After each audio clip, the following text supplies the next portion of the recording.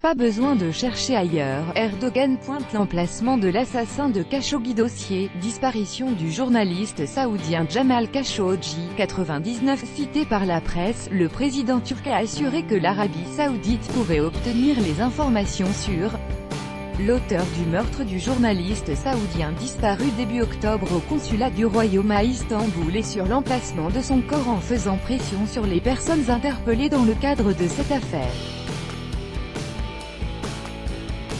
Le président turc Recep Tayyip Erdogan a déclaré que l'assassin du journaliste Jamal Khashoggi se trouvait parmi les 18 personnes arrêtées en Arabie Saoudite, écrit ce samedi le Daily Sabah.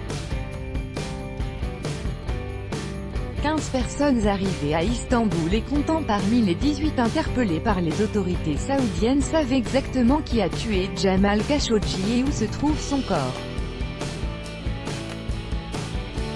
L'Arabie Saoudite peut obtenir ces informations en obligeant ces gens à parler, a-t-il indiqué cité par le média.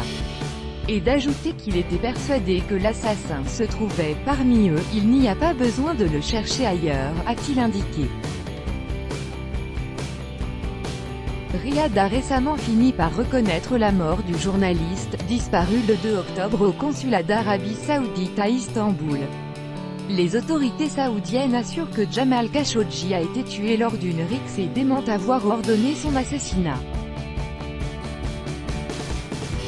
Selon Riyad, 18 personnes ont été arrêtées dans le cadre de cette affaire.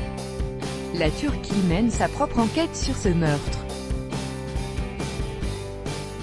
Le 31 octobre, le procureur général d'Istanbul a annoncé que, dès son arrivée au consulat, Jamal Khashoggi avait été tué par strangulation, son corps ayant par la suite été démembré.